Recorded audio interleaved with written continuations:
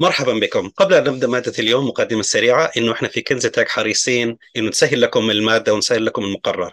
فلذلك لو دخلتوا على ال website kenzetech.com kenzetech.com وتروحوا على course ال Python you can click on it هياخدكم على ال course تبع ال Python which is free. مجان آه طب إيه الفائده لو أروح على الكورس إنه حتلقوا نفس الفيديوهات الموجودة بس إضافة لها أي كود مذكور في أي section أو في أي lesson حتلقوه موجود. يعني البرامج المكتوبة ال websites الروابط الموجودة في الإنترنت كلها موجودة بال website فتروحوا أنتم على الدرس حتلقوا الروابط ممكن تعملوا له download أي برامج إحنا حنتكلم فيه في كل section حتلقوا ممكن تروحوا تعملوا له download فلو اليوم إحنا بنتكلم عن ال first Python program تبع ال print hello world أنا ممكن أروح وأعمل له download على طول. فأي chapter لو تروح على kenzytech.com وبعد كده تختاروا Python أو تحطوا الرابط بالكامل kenzytech.com slash course slash python.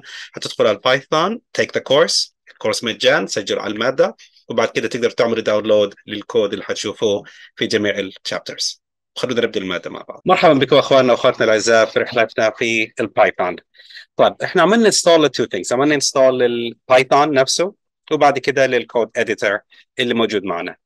طب هل من الضرورة إنه لازم يكون عندي code editor ولا ممكن أستعمل ال Python من غير ال code editor وإن كان مش لازم طب إيه ميزة ال code editor فخلونا نشوف مع بعض بطريقة سريعة اليوم. طيب لاحظوا معنا إنه هذا ال program تبعنا we're printing Michael. هنعمل عندنا variable x اللي هو يعادل مايكل لما نعمل print أو ظاهر قيمة Michael it's gonna run.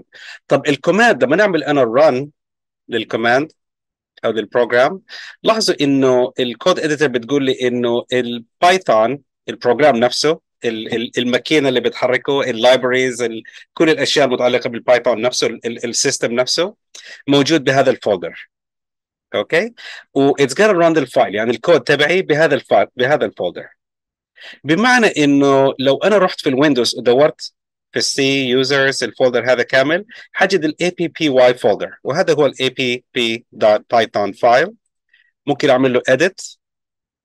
عندي بال notepad مثلا خلينا نفتح open with notepad. وحغير from Michael to Sarah. وأعمل له save. فأنا مش محتاج ال code editor عشان أغير ال file اللي عندي. يعني ممكن من عن طريق ال notepad أو عن طريق ال PC على طول أقدر أغير ال الأشياء اللي عندي. طب أنا عاوز اعمله run فقال لي إنه هذا ال path هذا المكان الموجود في ال Python وهذا المجال المكتوب فيه ال file تبعك. فأنت أول شيء تعمل run لل Python وبعد كده تسمي ال file ال location تبع ال file. طب خلينا نعمل copy لل لهذا الكلام هذا الخ... ال line هنعمل له paste and run وعلى طول كتب ال output Sarah فاخذ ال file الجديد اللي, اللي جددناه.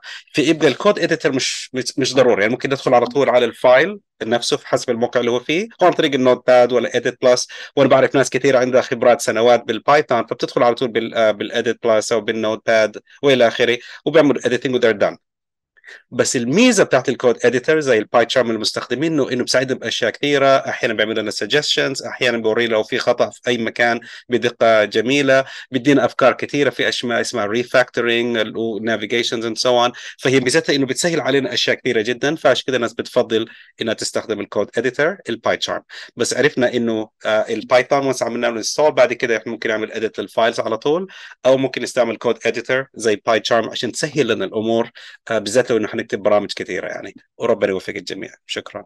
نتمنى إنه حلقة اليوم تكون نالت إعجابكم. عندنا كمية من ال sessions free في ال website تبعنا. يا ريت لو تزوروا ال website kinzytech.com/events وتابعوا معنا. موفقين.